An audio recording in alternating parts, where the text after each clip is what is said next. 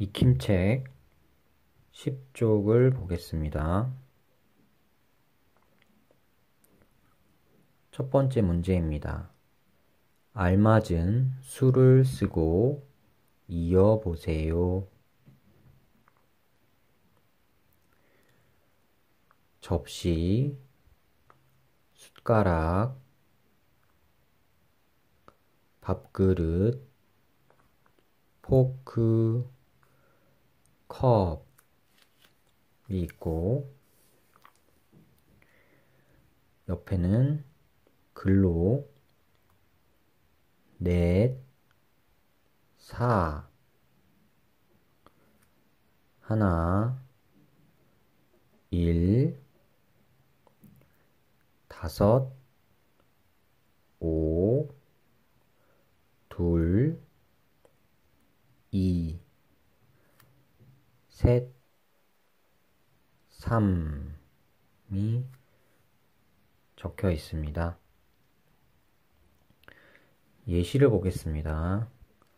접시의 개수는 하나, 둘, 셋, 넷, 다섯. 접시의 수는 5입니다. 따라서 숫자 5를 다섯 또는 5라고 읽음으로 이곳에 연결을 해주면 되겠습니다. 숟가락은 하나, 둘, 숟가락의 수는 2입니다. 따라서 둘, 2라고 적혀 있는 이곳으로 연결을 해주면 되겠습니다. 다음 국그릇, 밥그릇 수를 세어보겠습니다. 그릇의 수는 하나, 둘, 셋. 그릇의 수는 셋입니다. 따라서 셋, 삼 이라고 적혀 있는 이곳으로 선을 이어주면 되겠습니다.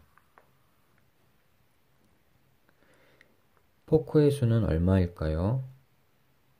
네, 하나입니다.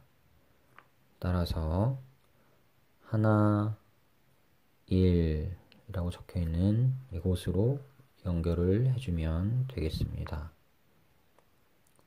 마지막 컵의 수를 살펴보겠습니다.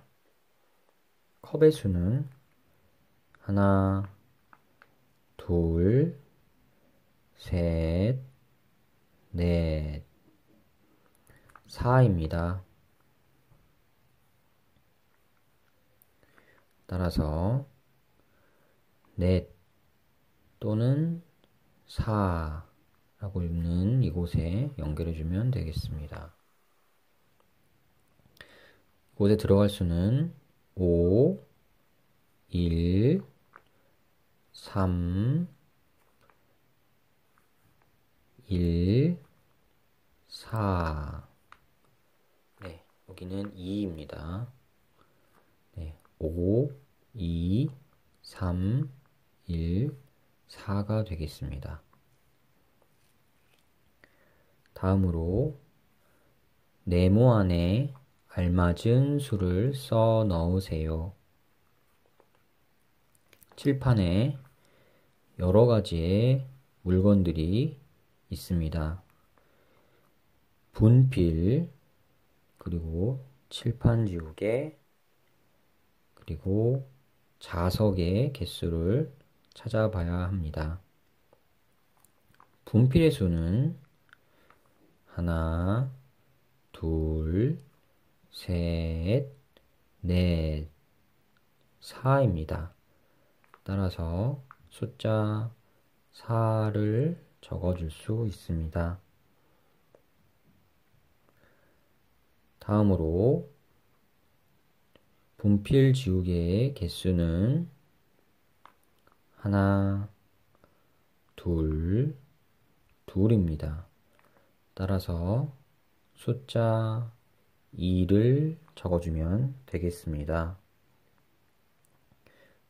마지막으로 자석의 개수는 하나, 둘, 셋, 넷, 다섯입니다. 따라서 숫자 5를 적어주면 되겠습니다.